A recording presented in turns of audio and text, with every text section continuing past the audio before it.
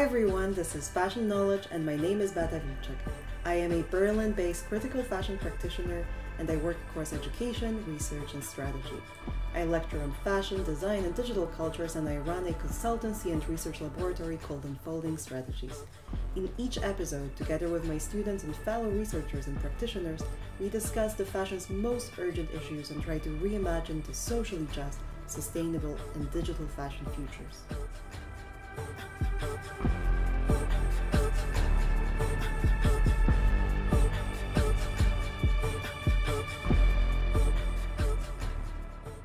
Hi, welcome to Fashion Knowledge. Today I have a pleasure to talk to Harriet Davey, a Berlin based and Yorkshire born 3D artist. In her work, she creates virtual models, avatars that could also be referred to as know, humanoids, but this is Harriet, you will tell us exactly how you refer to them. These digital creatures oftentimes have metallic skin and elf like ears, and they have been described as shiny, yummy, and alien like. Today, we will dive deeper into these digital bodies she creates uh, I was introduced to Harriet and her work a year ago when I was doing a project on digital sustainability in fashion. I was looking for a designer who has experience with digital fashion, and Harriet just did a garment for Dress X, an online shop where you can buy clothes that only exist as digital files and can be added to your photos. So, just like an additional layer in Photoshop.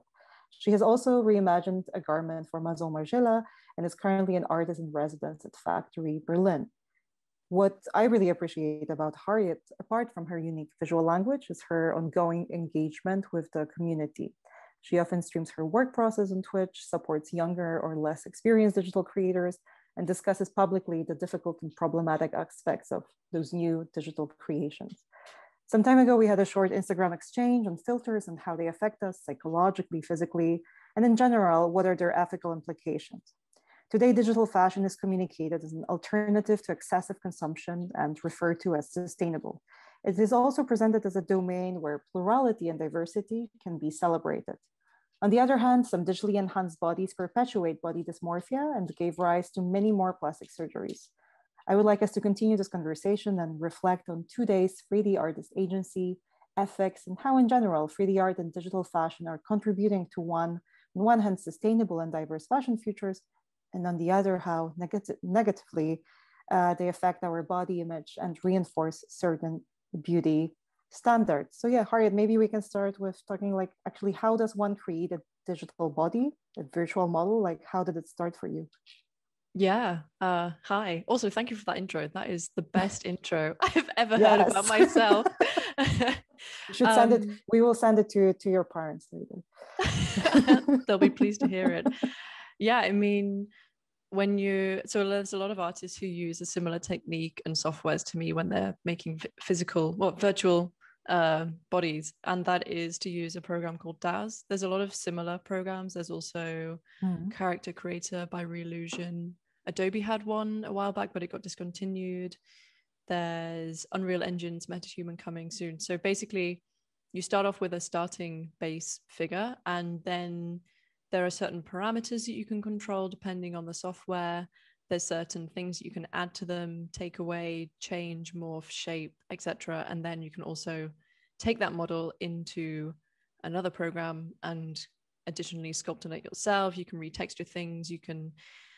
There's a whole crazy workflow, and a lot of people are exploring it. And something that's always interesting to me is that these base like these base characters that you start off with depending on the software it's it's so take Daz for instance you have a female or a male character mm-hmm. that you choose and then some aspects are only applicable to one or the other they are like tall skinny white bald interestingly as default as well uh and like also these conversations about these parameters is something that I've been quite involved with, uh, talking about why this is the standard and the default and why it shouldn't be or why there should be more kind of accessible and freely available changes for these base characters. And how did you get there? How did it happen for you? So what was the tra- trajectory like you know historically looking at your life? What what made you do this? Yeah, I mean, I started learning 3D three years ago, I think now. Before that, I was I was studying graphic design at the time. Um, before I did graphic design, I did art and I did a lot of painting. I was always really interested in characters and humans and fantasy worlds, like reimagining myself in different worlds. Like as a kid, I was always drawing. I was really obsessed, especially with dragons, and was drawing like humans as dragons and all of this stuff. And I think now you look at my work, it's probably quite obvious uh, the sort of stuff I was looking at as a kid. Um, yeah, so I was generally just starting to learn 3D modeling and rendering. I realized I also didn't really like like hard surface modeling. So basically, with 3D, there's two types of way that you can model something. There's hard surface, and then there's like clay sculpting. And hard surface is really technical. It's kind of based off making real world machinery and all this stuff. And then there's the clay sculpting, which is much more like having this physical clay in your hands. And so this is the kind of route I went down, sort of learning this. And then I found out that there are these programs that you don't need to sculpt all the way from scratch because someone else has made a body from scratch.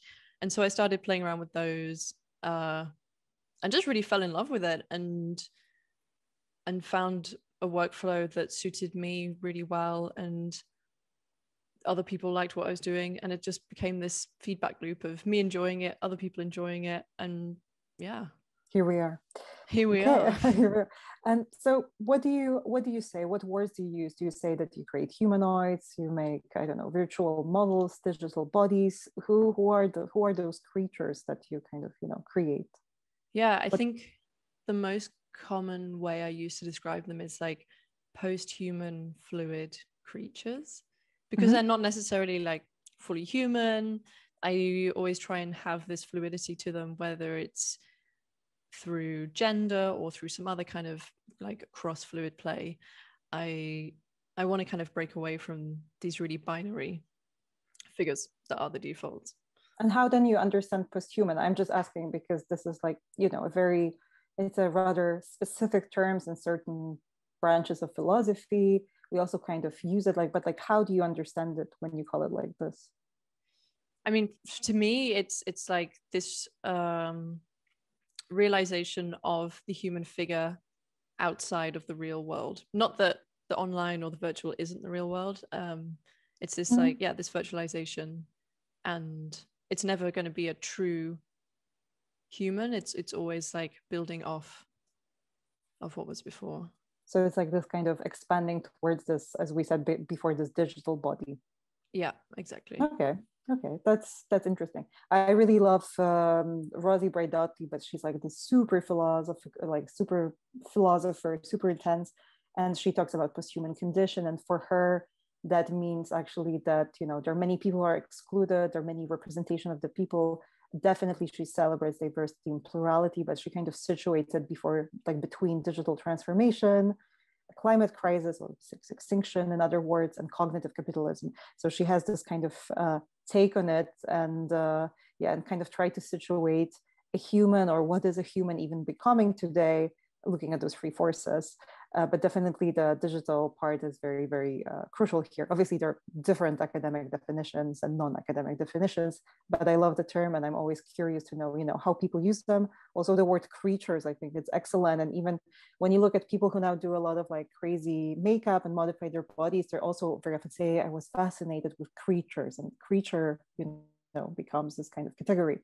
But uh, so I wanted to, to, to ask you if you're talking about those fluid bodies, you also created those fluid bodies can have many roles, right? They can be virtual models, they can be many other things. So how can they function in, in the digital realm? Yeah, I mean, they can function as a complete replacement for your physical self. Um, you can, for me, like a lot of the practice is kind of instead of exploring my self and my expression and my representation in the real life because I'm really bad at makeup. I'm I'm not really crazy about fashion or anything in the in the physical, but then I find it's like in the virtual, it's it's so much easier for me to explore my own self-expression. And then there's a lot of that. And then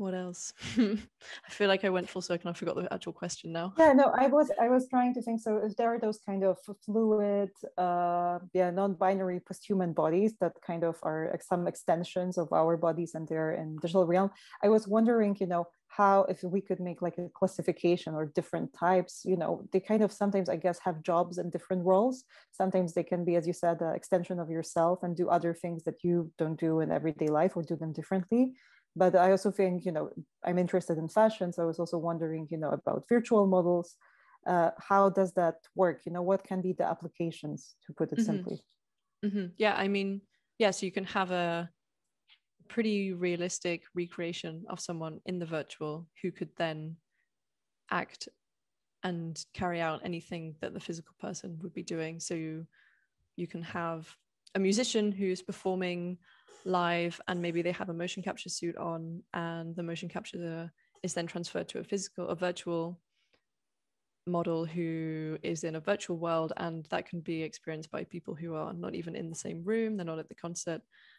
You could have with thinking about virtual fashion everything from wearing the fashion virtually in real time which is coming soon we think. What does it mean? Can you explain it? Because i think you know for many people it might be a very vague concept what it means wearing virtual fashion in real time like what does that mean?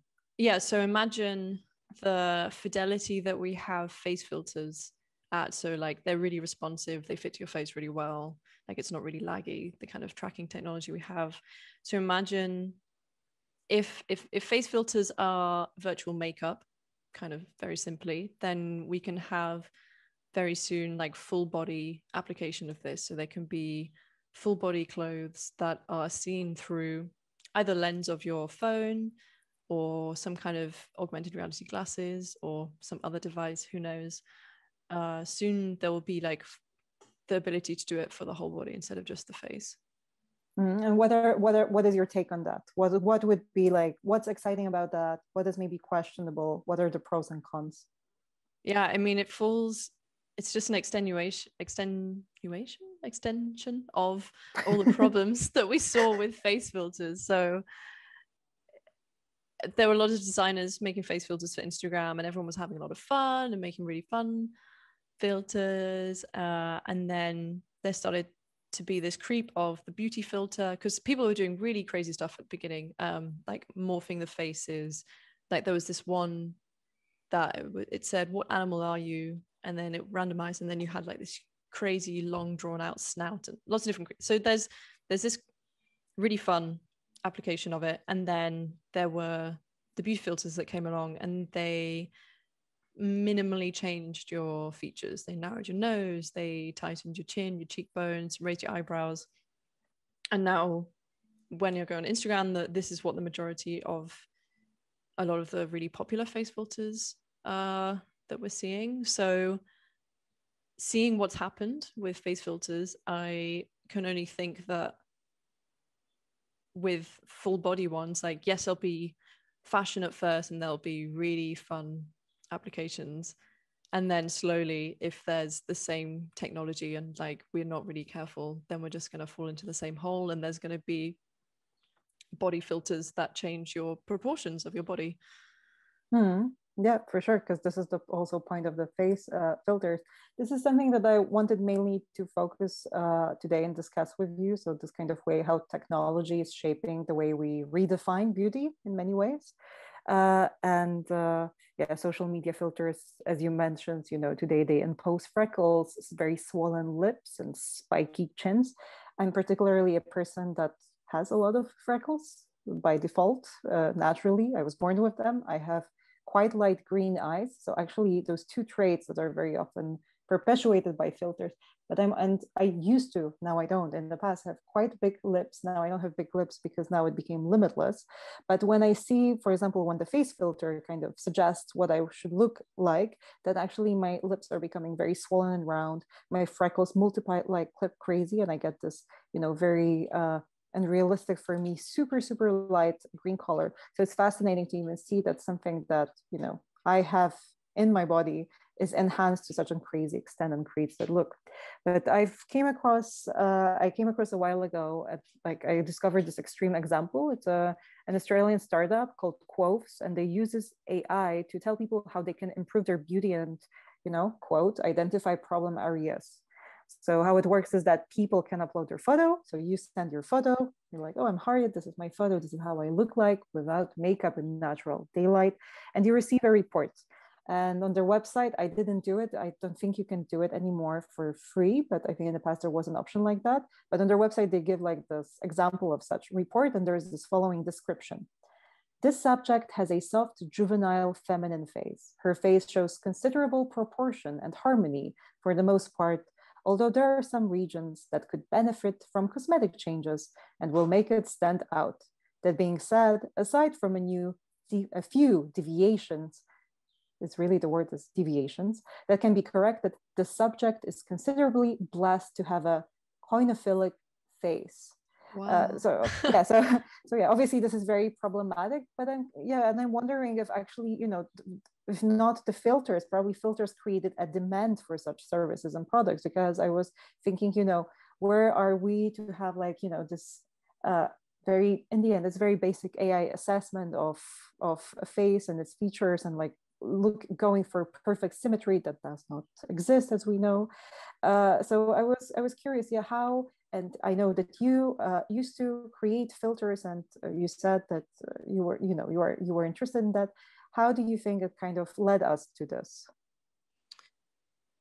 I mean the filters like these problems didn't arise at the same time that filters arose. And at the end of the day uh, a lot of filter creators were just like creating what's popular. And what's popular is what has always been popular in the past which is whatever the standard of beauty is at a given time. And i, I actually was just wondering in in some ways like maybe people being able to play around with their appearance in a completely non-permanent and non-physical way might not be so so harmful you know for someone who wants to try out how their face would appear if certain changes were made because it's always been crazy to me that people surgically and permanently alter their appearance for beauty trends that are inevitably like transient and always changing and they every 20 years the the beauty standard is completely different.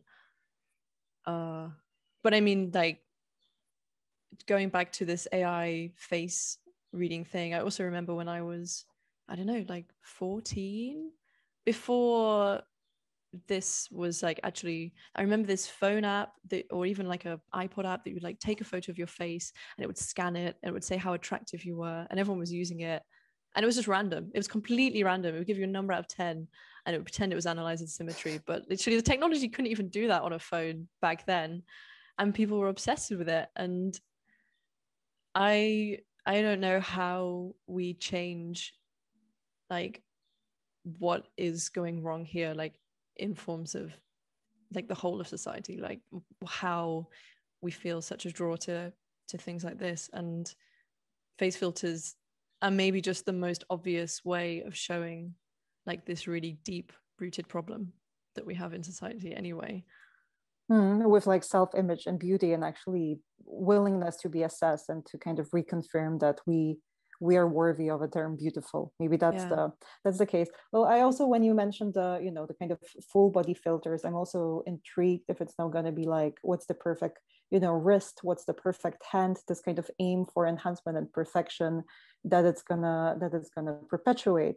But you know another thing is this as i mentioned beginning this kind of on one hand so we have those negative aspects of either filters because also digital digital uh, body representations also contribute that because they kind of you know propose certain different standards. I know many people who have uh, their avatars their digital representations they don't they, they don't necessarily look like them even though these are like the hyper realistic ones. So i'm always intrigued you know what is the line if I were to have my, you know, uh, like a like a digital version of myself, what should I be blonde? Should I be skinnier? Should I be more fat?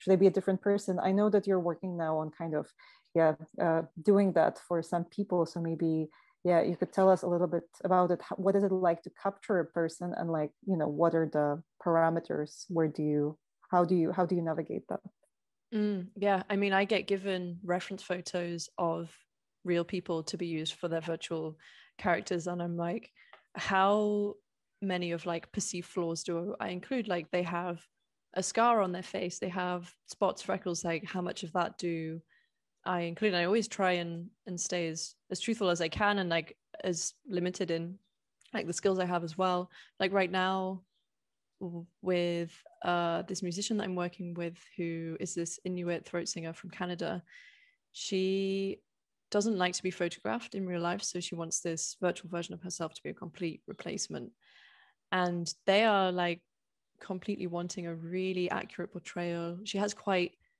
deep, uh, like cheek creases, which is quite unusual actually. And a lot of people would try and gloss over that, but they came back with more feedback and they were like, yeah, we really want to accentuate them and like don't make her look any younger than she looks because there's no point. And they, I really love that. And I've I've had some other stuff, like I've had some other clients where I was showing them the figure and the figure had no clothes on and they were like, oh, we can't show this to the the person that's of like without covering up uh, this virtual body, which was also kind of really funny because I'm so used to just seeing this like T pose, really neutral human uh, mm-hmm. all the time that I just didn't even think that them like seeing it nude, shirtless was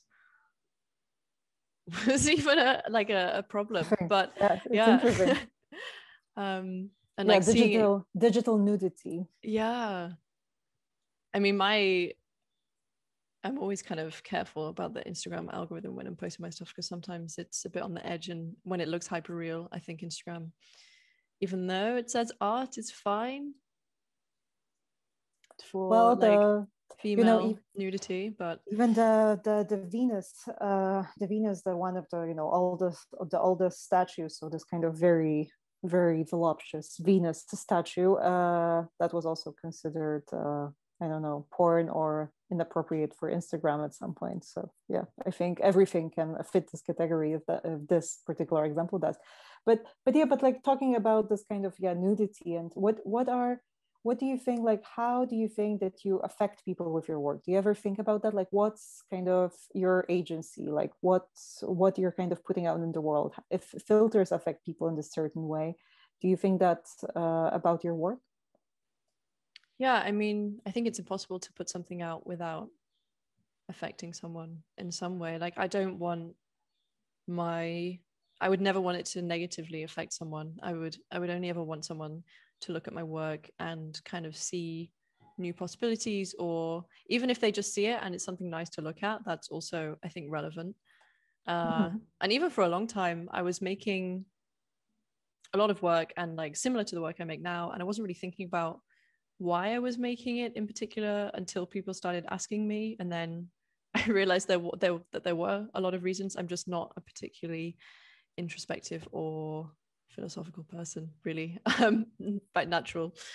Uh, yeah, so I think that I also want to to try and inspire younger people. Like that's a massive part of my practice is to really inspire anyone who might not be even sure that they that they want to follow an art practice like this, but if someone saw it and then was inspired to to make 3D or to even paint or anything like that, that would also be really really rewarding. Hmm. yeah that's that's that's that's beautiful. I, i'm i'm certain that your work does that. Uh, but as you said in the beginning you say that you also want to challenge those kind of default bold settings those default kind of binary setups. So is that how do you how do you embrace that in your work? How yeah, is that yeah. how is that the part of that? I mean one like the main the main way is probably that i really love to subvert a male like i start off with a male base and then try and make it as feminine as possible uh, and then the opposite with a female base. I really love these like really strong quite toned but like really still quite feminine figures and like the way that a lot of the curves like catch the light in in the 3d like lighting is the best thing when you're working in in in 3d softwares. Um but i'm always trying to like mix and kind of hack bits of the softwares to try and to try and like apply these bit these assets and and and parts and body parts that shouldn't that shouldn't fit together. And do you think it's possible? Because it's it's striking to me how very binary and how masc and femme divide uh, are, are those kind of programs that you use. Do you think in future there will be kind of like a you know a non-binary uh as you using your words post-human fluid kind of way of designing that it won't be by default male or female or both? i hope so yeah. I think maybe i mean it's funny with Daz because in Daz so Daz are on their like eighth generation uh, model and their first generation model. You didn't start off with a male or female. You started off just with a basic kind of middle human and then you could use sliders that would give it more femme or masc attributes. And they've actually gone backwards you know since then. Um hmm. so like the readaptation of this kind of i think sliders work really well for a lot of attributes instead of just so metahuman that unreal have, have produced like they have a lot of these you can drag bits of the face around and it and it really morphs between different shapes really fluidly. And like they're not necessarily labeled um, as more masc or feminine names uh, so i think when developers are designing these programs like the name even the name of a certain parameter is really important to either make people think or not have to think about these things. Hmm. yeah that's that's definitely interesting. And how do you think is reflected? Because my, my biggest concern is always with you know digital fashion and in general creative industries going in many ways digital because this is the let's say the field that you work in right because you work with music industry you work with you work with fashion brands you work in different capacities kind of you know uh, mm-hmm. using your tools and your work to to be inserted into that into this context um, how do you think because so what i wanted to say is that i very often struggle with this idea that we feel like we have some kind of new territory and it's exciting and it's going to be you know about diversity and sustainability and this is these are those claims of sustainable fashion. But in the end i'm always afraid that we'll actually repeat swallow and reuse exactly the same problems and issues that we had so far which are very much rooted in whatever examples of social injustice that fashion produces you know could be. So do you what do you how do you imagine you know how how in your eyes uh, fashion industry and creative industries uh, will be changing. Are you more optimistic than me, or? I think so. I think that up and coming Gen Z is like to me the most exciting generation possibly that we've seen in a while of like just visible activism, visible diversity. Um, I think the the more diverse people who like even when I was a kid, I don't think there were any I had I knew a few artists and stuff, and I, I could never have named a female artist even up until like two years ago. I barely knew any female 3D artists, and now I know like 300 through DIGI-GXL. Um, so like the more that we that we branch together, like communities like DIGI-GXL. I'll explain DIGI-GXL for anyone who doesn't know. It's a community of women, trans, intersex, and non-binary 3D artists, designers, a lot of fashion designers who are doing 3D work. And yeah, there's about 300 of us or so. Uh, and like having these pockets of communities who all support each other um, like there's people now there's a few members of DIGI-GXL who are like in their 40s and they are running studios and and and then they're offering jobs to people lower down and then not lower down like younger people. Um, and then sometimes i have extra work that i can then pass on to another DIGI-GXL and if i didn't have this community then maybe those trickle down jobs would have gone to just another white cis bro, you know. Um, so yeah, I think I am optimistic, uh, and I think that the future the future is fluid and the future is coming yeah this is this is this is pretty good uh, i think ending to our conversation my last question then would be because this is something you said you're interested in yourself like what would be your advice for you know uh, young or not only young people interested in becoming 3D artists doing things like you do? Yeah, I think the first the first advice is like try and find artists that look like you. Try and find uh, role models to look up to who aren't the norm. Um, I also had never watched a tutorial by someone who wasn't a white man until about six months ago. so I'm also like trying to put out tutorials as well. So try and find and learn and look up to people that are reflections of yourself and and also don't be afraid to reach out to them. Like people are a lot friendlier than they appear on the internet. Um, if you fit into the category of DIGI-GXL, if you're woman, trans, intersex, non-binary, like send us a message on the DIGI-GXL Instagram and we'd be happy to have you. Great. Thank you. Thank you. Thank you so much, Harriet. Uh, it was a pleasure talking to you. Thanks so much for having me.